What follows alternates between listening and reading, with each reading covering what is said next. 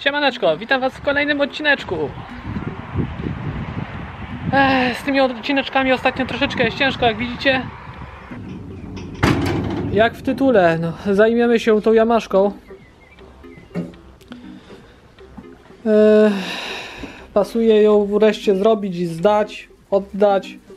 Jak widzicie, została ona umyta. Myłem ją chyba ze trzy razy, ale i tak, i tak. Jeszcze jest pełno takiego przypalonego. No, musiałbym chyba to drucianką potraktować, żeby to zeszło. No ale umyłem ze, umyłem to ze trzy razy i dalej jeszcze olej jest, dalej. Tu jest strasznie grubo, nie chciał to zejść, ale przynajmniej mam kalamitki, już widzę je. Więc będzie to trzeba wszystko tutaj przesmarować. Wszystkie te punkty, jakie są. Bak będzie do ściągnięcia. Będę musiał skoczyć na internet, zobaczyć jakie są luzy zaworowe. Ustawić tutaj, e, sprawdzić przynajmniej jakie są luzy zaworowe, czy wszystko się zgadza. Według e, interneta gaźnik pójdzie do przeczyszczenia.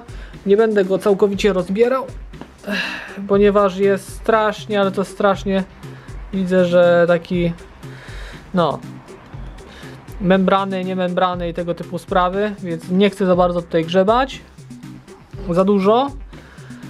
No i zajmiemy się tu takimi podstawowymi rzeczami. Zobaczymy, czy w ogóle jakiś tutaj filtr jest powietrza. Kurę, za niedługo do mnie plastiki przyjdą, więc złożymy i zdam, zdam to właścicielowi.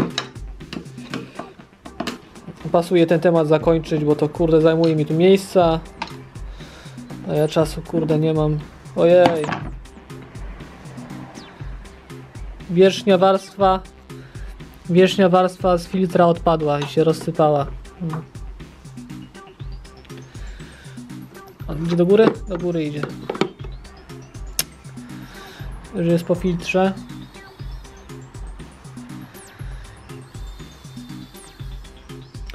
Ale to nie jest taki temat jeszcze tragiczny znowu. To co już będzie mógł właściciel nawet kupić. Zobaczymy, no. Jak uda mi się w jednym sklepie zamówić, no to zamówię, nie? To jeszcze i tak nie jest takie istotne. Ale... No nie jest ok. Tak wam powiem. No nie jest ok. No za bardzo tutaj wam nie będę zbytnio nic gadał. No biorę się do roboty. Dopiero co przyjechałem z pracy. I już bierę się do kolejnej pracy. No jak to u mnie. Nie wszystko widzicie na YouTube, co się dzieje, ale dzieje się dużo. Y, Czasami sobie zrobię odpoczynek, y, czasami sobie zrobię wolne. Bo normalnie taki tryb życia, taki tryb, no to człowiek długo nie wytrzyma. Dobra, koniec gadania. Jadę z tym kładem.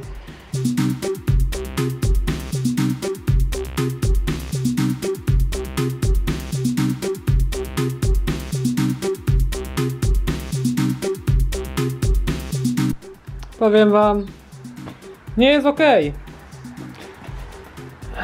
Nie jest ok. Pływaki jeszcze są szczelne, ale już tu ktoś, już tu ktoś z- normalnie był. Poprzytapiane, coś tu było kombinowane z tymi pływakami. Dysze tutaj kurde zawalone wszystko.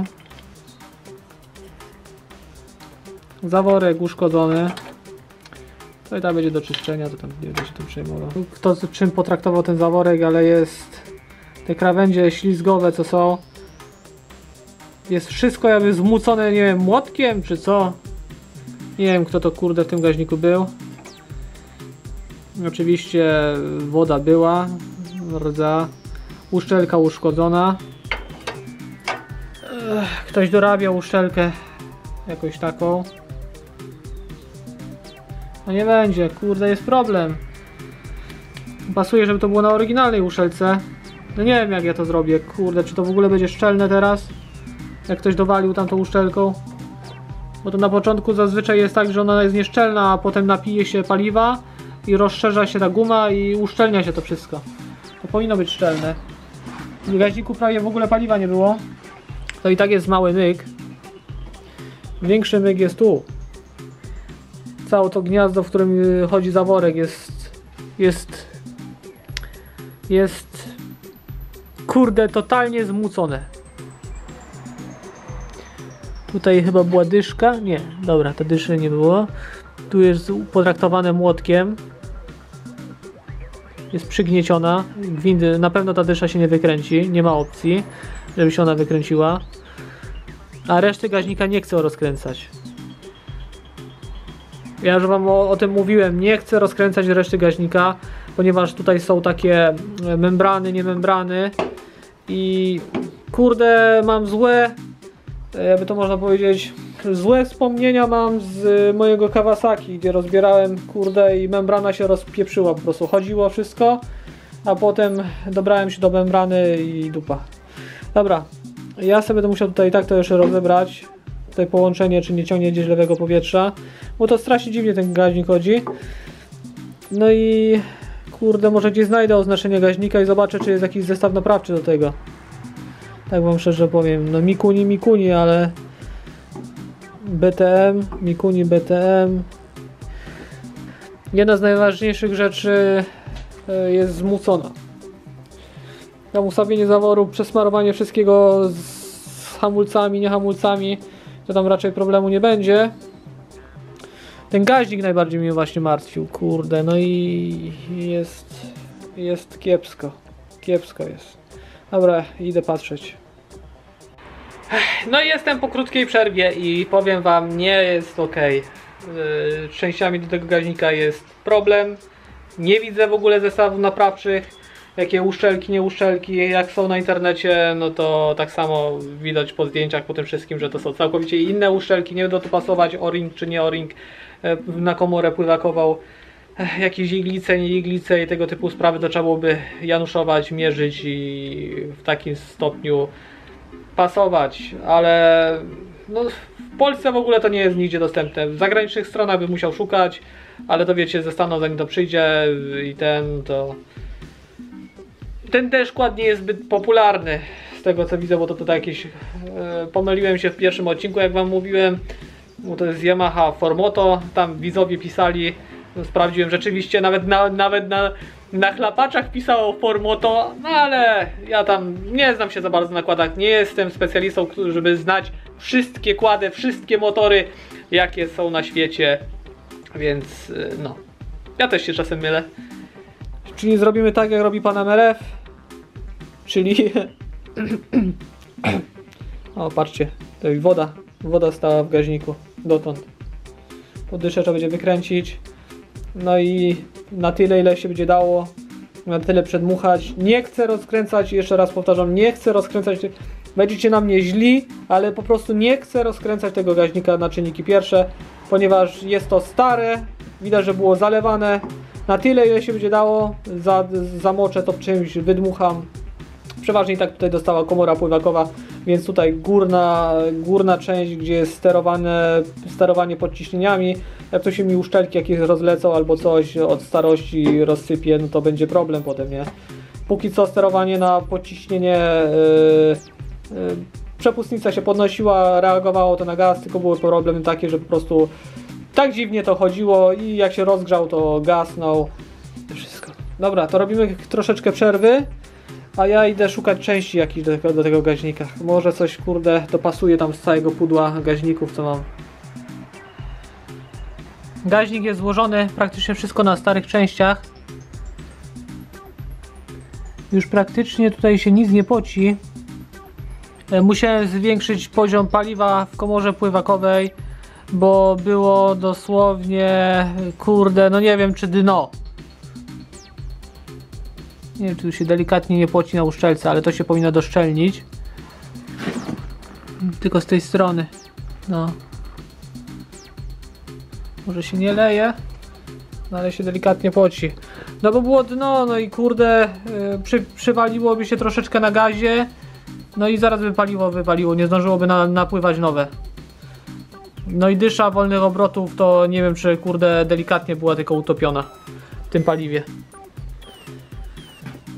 No, trzeba iść na kompromis. Ale nie, już się doszczelnia. Widzicie, chwileczkę, chwileczkę yy, naciągnęło po, po tego paliwa Dosłownie jest praktycznie, że ok. Mam paliwo otworzone jak coś, no i gaźnik jest. Przechylimy trochę w tą stronę. No, zaworek zamyka. E, Zaworek musiałem lekko tam, no podrzeź, podrzeźbiłem tam ten zaworek deczko. Te takie nierówności, te takie nierówności, to wziąłem je pousuwałem. Żeby to tam się nie obcierało. Tego gniazda nie mogłem nigdzie znaleźć o takim rozmiarach, bo dość, że ono jest wysokie, dość wysokawe jest. To jeszcze jest takie specyficzne, no i, i ten... Nie ma tragedii, nie leje się, delikatnie się coś tu tylko poci. Ale to się tylko tak dosłownie delikatnie poci, nic się nie leje. Nie ma, nie ma pod, pod gaźnikiem, nie ma pod gaźnikiem, kurde, pełno paliwa. No. No i jest pełno nieszczelności w tym gaźniku, kurde. No musiałbym wam to wszystko pokazywać, no ale jest, jest, jest on zmęczony już, że już nie jedna osoba tutaj dubała w nim. Nie, tragedii nie ma. Mi się wydaje, że można to powiedzieć, że to tą, ten etap mogę powiedzieć, że zakończony jest sukcesem. Przedmuchałem wszystkie dysze, yy, przeskrobałem gaźnik, przemyłem ile dałem rady. No i złożyłem, no i, no i tyle. Idę szukać, czy znajdę ustawienia zaworów. Zobaczymy, jak tam zawory są ustawione. Czy jest to prawidłowo według serwisówki, jeśli znajdę ogólnie wymiary.